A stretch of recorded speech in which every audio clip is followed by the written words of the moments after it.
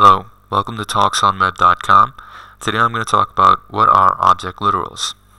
First I'm going to show you a simple example and um, then I'm going to show you two types of code. The first is a very messy kind and then the second version we use object literal to make that code much more cleaner and avoid namespace collisions. So if you look at line number two, we're creating a simple object by saying new object and assigning it to a variable.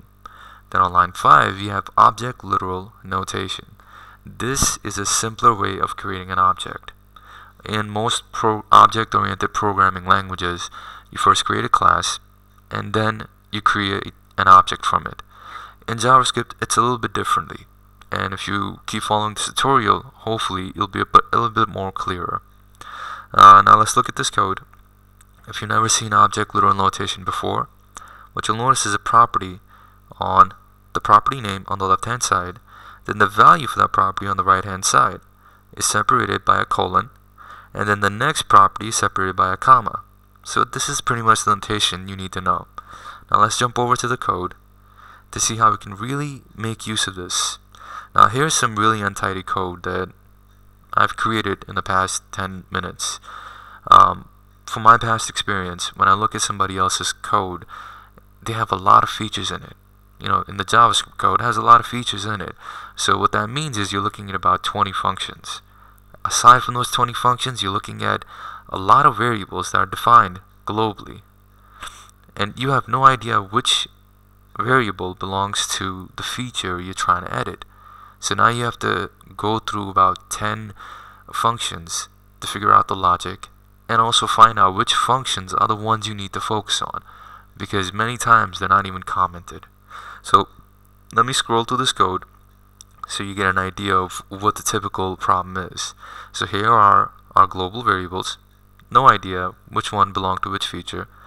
Then here's another function. Here's a separate function. Here's another one and so on. Okay, I haven't added the code because I just need to give you an idea of the problem. So now what we're going to do is let's make this a little more organized by using object literal notation. Now what I'm going to do is create an object literal called link feature. And then I'm going to create variables inside of it. So at the very top, what we were doing was creating variables and we had no idea whom they belong to, what feature they belong to. Now what I'm going to do is create an object literal for every feature that I'm creating on the website. So here's my first feature, link feature. Then I take all the variables that are associated to this particular feature and define them inside of that object literal. Okay? Notice again the name of the property values on the left hand side, the values on the right hand side, and they're separated by a colon. The next property is separated by a comma. Now, aside from just defining variables, you can also define functions within object literals. So that's what I did. I defined the link feature object literal and then I put all the functions that are related to that feature in one object literal. So you don't have to go and look through the whole JavaScript file just to edit one feature. You can easily say, well, here's the object literal, here's the features. The function I need to edit is probably going to be within this particular area. It makes your code much more organized, and the person editing is, even if it's you, can easily jump to the location they need to.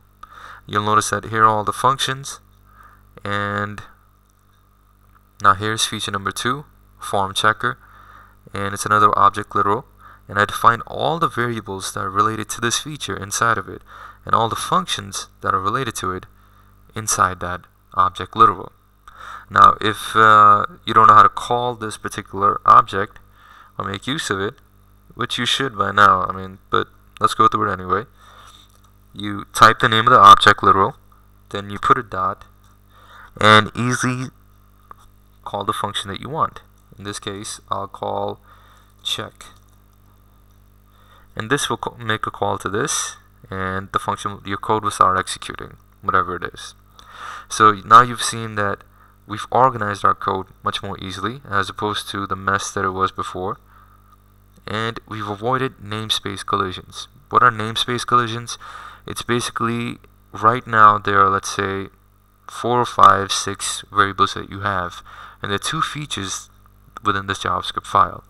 But if later on you keep adding more and more features, what you'll notice is you're going to create more code which might use the name of the same variable that you've already defined. And that's going to cause a logical error. To avoid these logical errors, you can easily, again, go to object literal notation, and I can define another object literal notation with the same variable inside of it, and it won't cause a collision because it's in a different variable scope. Hopefully this was helpful to you. If it wasn't and you want to leave some feedback, please let me know. Thank you.